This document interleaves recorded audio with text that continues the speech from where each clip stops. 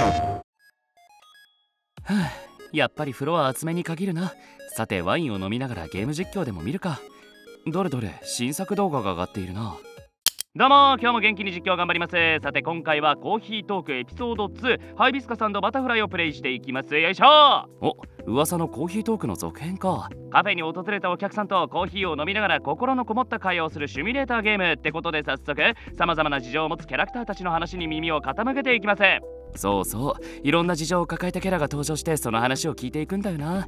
オペラ歌手を目指して活動中のバンシーはネットでの嫌がらせに悩んでるみたい。こっちは人間を理解しようと試みる宇宙人。ああわかるわかるなファンタジーの種族の話だけどどことなく共感できる悩みが多いな。ということでプレイしてきました。よかったら皆さんもぜひプレイしてみてください。サンキューよしプレイしてみるか。こんな夜はゲームやるしかないんでプレイステーション